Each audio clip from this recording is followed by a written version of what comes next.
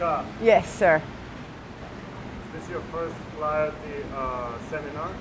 Yes, it is. Have you ever heard of this idea of non-preconception? Um, recently, yes, in this seminar. What about preconceptions about this seminar? Did you have any? Have you, did you have any before you came here? Uh, I was a little worried. uh, I'm not really used to have so much structure in my day, so I thought that would be really scary.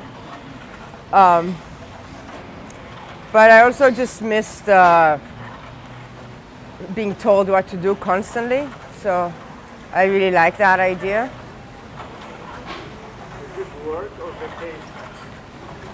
For me, it's it's uh well everything. It's both. It is it is vacation because even when I try to take a vacation, you have to again like think about what you want to do, and here they you know tell you when to have breakfast. It's a boot camp, so so I I like that. I like that. What about this activity you're performing right now? Is this vacation or work or play or what? Um, this is work. I do that so I can think better. Um, yeah, I, I always have good ideas when I do repetitive movements over and over again. So,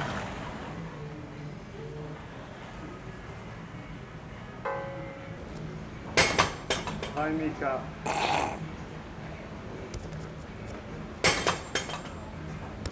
I guess you kind of have to um, frame. I have to frame what I'm doing. And, um, even this, you know, I'm framing my activities um, very um, rigidly. That's good.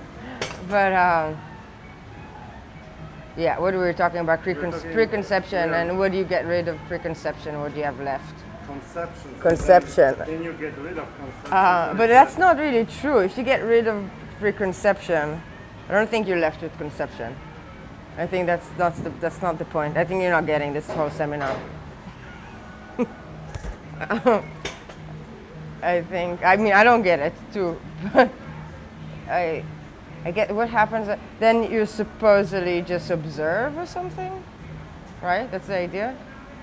Yes, yeah, pure observation. Pure, yeah. This purest thing is very fascinating to me. Do you think it's realistic or it's a fiction? Of course, it's a fiction, but it's a funny fiction. No, but because you haven't haven't you had the experience of complete uh, purity and uh, unstained kind of uh, unfiltered uh, perception? Sure. For every film I see here is exactly that. Yours.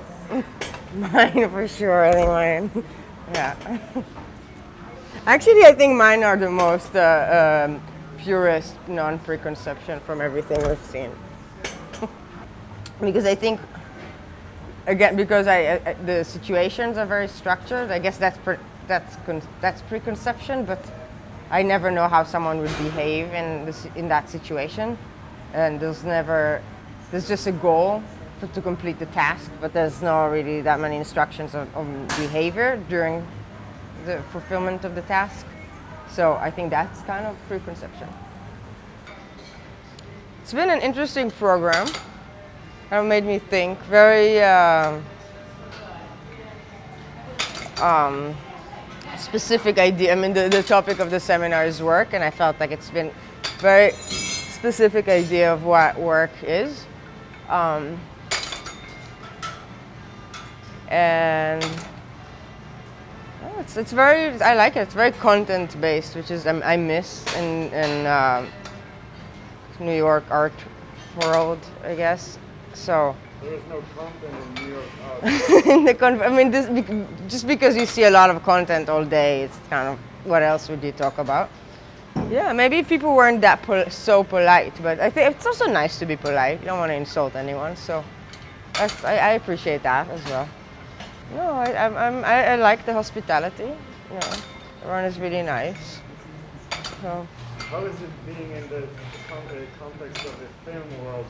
experimental film world, coming from the art world? I find it naive a little bit, uh, which is nice.